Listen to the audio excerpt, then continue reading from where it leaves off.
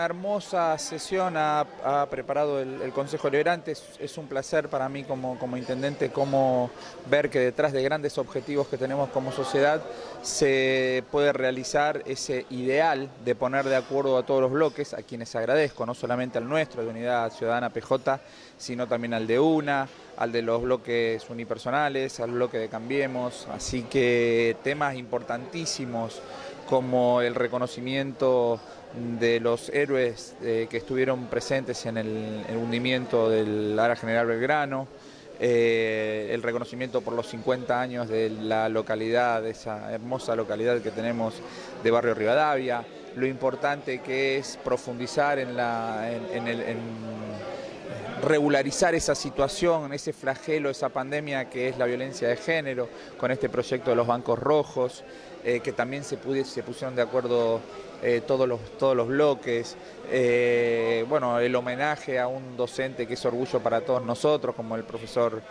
Piccolo, quien no solamente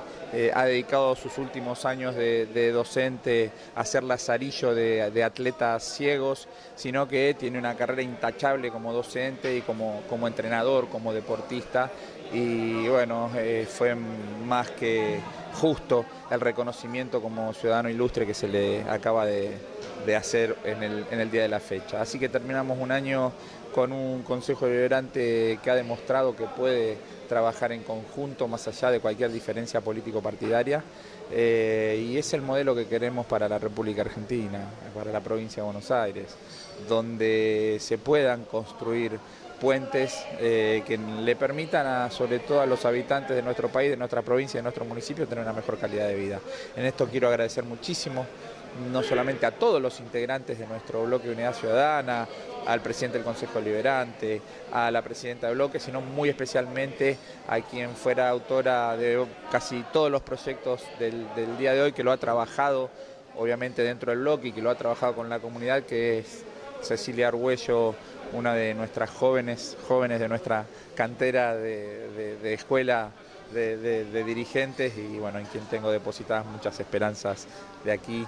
para, proyectarse en el futuro. Así que estoy muy contento, feliz, orgulloso de los compañeros que tengo y de lo que hoy aquí se ha trabajado. Fue una ardua tarea que se pudo hacer gracias a, la voluntad también política de, bueno, de nuestro intendente y de todos los funcionarios de poder aportar en la reconstrucción de historias de nuestros barrios, en este caso la Secretaría de Gobierno, la Dirección de Catastro, el Museo Histórico Social, el Archivo General del municipio, todas las áreas trabajaron para poder encontrar el origen del barrio Rivadavia, poder encontrar ese expediente que justamente eh, digamos, estaba perdido, porque recordemos todos los vecinos que cuando nosotros asumimos hace tres años atrás, eh, mucha información pública fue robada, digamos, ¿no? Y por eso hay una denuncia federal en ese marco. Y bueno, gracias a la voluntad de muchos trabajadores municipales y de funcionarios pudimos encontrar el expediente donde eh, daba cuenta del nacimiento del barrio Rivadavia, de cuándo fue el primer loteo que se realizó y a partir de eso con los historiadores pudimos reconstruir la historia. De que somos gobierno en el 2015, nuestra propuesta fue la la, unidad fuera de toda especulación política, es lo que intentamos hacer, con la seriedad y la profundidad que se deben dar en los debates, en las diferencias que son, que son marcadas, obviamente, sobre todo con el gobierno provincial y el gobierno nacional, pero entendiendo siempre que por delante de todo está nuestro pueblo. Así que nosotros eh, vamos a agotar siempre toda nuestra energía en la defensa de nuestros vecinos de, nuestra patria chica, que es aquí el, pueblo de Merlo. Eh, mucha expectativa. Eh, sinceramente el país no está pasando por un buen momento. Hay una crisis económica sin precedentes, con problemas políticos de fondo, eh, que bueno, seguramente durante los procesos electorales que tenemos el año que viene vamos a poder dirimir esas cuestiones y como siempre el soberano será el que tenga la última palabra y por, y por supuesto quien zanjará esas discusiones.